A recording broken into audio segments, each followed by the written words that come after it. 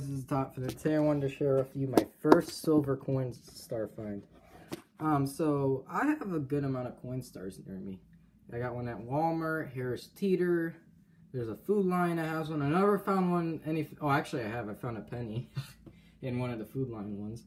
I haven't found anything in the Lowe's Foods. I have found some stuff in the Harris Teeter. Actually, the Harris Teeter gave me my biggest payout, which was a dollar seventy of clad change. Dollar seventy one actually.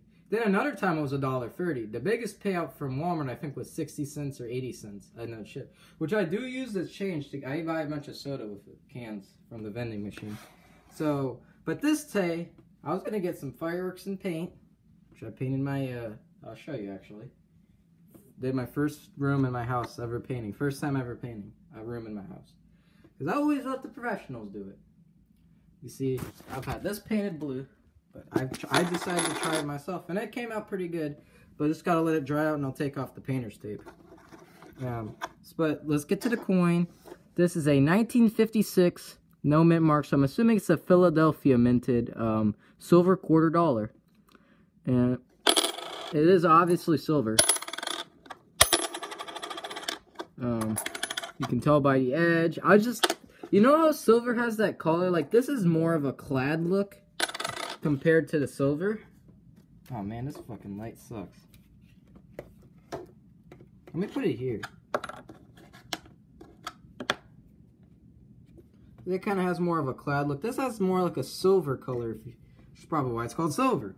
Um, but lower like a like a lighter appearance. So immediately when I saw it, it stood out to me. It didn't look like a normal quarter when I saw it inside the Coinstar. It was also with a 10 cent piece, so it was 35 cents, but this is not something I'm going to spend, obviously. And best of all, it's 1956. And it got rejected by, and a fool didn't know it was silver. And they didn't even check the reject tray. Yeah, but they probably would have spent this anyway, so. Free silver! First free, I have not found, in the last six months of checking Coinstars, I have not found a silver. I have stopped coin roll hunting because it's a waste of time and I don't get much. To, uh, it's not even worth it to me. But checking the Coinstar, that is something everyone should do. You check the reject tray, and I got this. My neighbor gave me this actually for free, so I just took it. Why not? Free silver to the stack, and this is my first silver, and of course it's a quarter, which is kind of rare. And it's not as common as the dimes, of course. The dimes are crazily uh, popular. And half dollars, those are very unlikely to find because, uh, um, well, not many people, they think they're, they're special. And most of them are not special unless the 1970 and lower.